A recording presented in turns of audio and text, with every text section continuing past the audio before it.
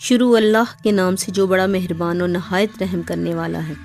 असलकुम सामीन, मैं तहरा ज़िशान हूँ और आप देख रहे हैं हमारा चैनल हकायात वाक़ात मकाम इब्राहीम अलैहिस्सलाम। ये एक मुक़द्दस पत्थर है जो खाना काबा से चंद गज़ की दूरी पर रखा हुआ है। ये वही पत्थर है कि जब हज़रत इब्राहीम अलैहिस्सलाम काबा मुकरमा की तामीर फरमा रहे थे तो जब दीवारें सर से ऊँची हो गईं तो इसी पत्थर पर खड़े होकर आपने खाना काबा की दीवारों को मुकम्मल फरमाया। ये आपका मुआवजा था कि ये पत्थर मोम की तरह नरम हो गया और आपके दोनों मुक़द्दस कदमों का इस पत्थर पर बहुत गहरा निशान पड़ गया। आपके कदमों के मुबारक निशान की बदौलत इस मुबारक पत्थर की फजीलत अज़मत में इस तरह चार चाँद लग गए कि अल्लाह ताला ने अपनी किताब मुक़दस कुरान मजीद में दो जगह इसकी अज़मत का खुतबा इरशाद फरमाया।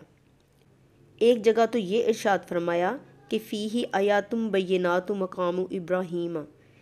यानी काबा मुकरमा में खुदा की बहुत सी रोशन और खुली हुई निशानियाँ हैं और इन निशानियों में से एक बड़ी निशानी मुकाम इब्राहीम सलाम है और दूसरी जगह इस पत्थर की अजमत का ऐलान करते हुए ये फरमाया वत्ता खिजुम मकाम इब्राहीम मुसल्ला। सुर बकरा रुकू नंबर पंद्रह।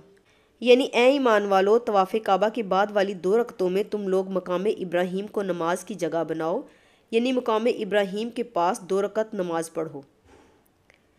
चार हज़ार बरस के तवील ज़माने से इस बाबरकत पत्थर पर हज़रत इब्राहीम खलील्लाम के मुबारक कदमों के निशान मौजूद हैं। इस तवील मुद्दत से ये पत्थर खुले आसमान के नीचे ज़मीन पर रखा हुआ है। इस पर चार हज़ार बरसातें गुजर गईं। हज़ारों आंधियों के झोंके इससे टकराए। बारहा हरम काबा में पहाड़ी नालों से बरसात में पानी आया और ये मुकद्दस पत्थर सैलाब के तेज़ धारों में डूबा रहा।